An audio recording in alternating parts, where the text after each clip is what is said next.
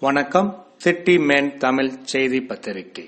YouTube சேனலின் செய்திகள். பிரதமர் மோடியின் பிறந்த நாளில் பிறந்த நேரத்தில் பிறந்த பெண் குழந்தைகளுக்கு மோதிரம் அணிவித்த பாஜகவினர்.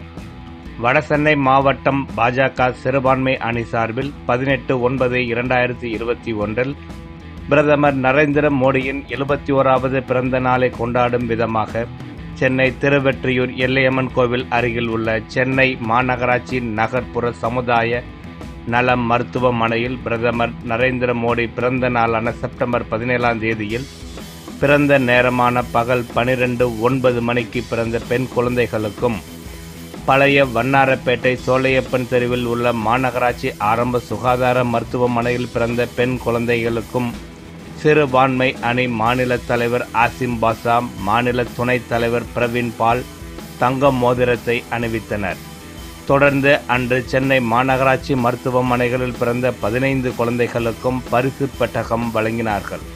இதில் மாவட்ட தலைவர் கிருஷ்ணகுமார் சிறுபான்மை அணி மாவட்ட தலைவர் டாக்டர் முகமது பெரோஸ்கான் திருவெற்றியூர் பகுதி செயலாளர் ஜெய் கணேஷ் வன்னிராஜன் மாவட்ட நிர்வாகிகள் S. N. S. Paul Christina Xavier Joseph Ramesh Mandal தலைவர் வேல்ராஜ் ரூப்சந்தர் காதர் மைதன் உட்பட பாஜகவினர் பலர் கலந்து கொண்டனர்.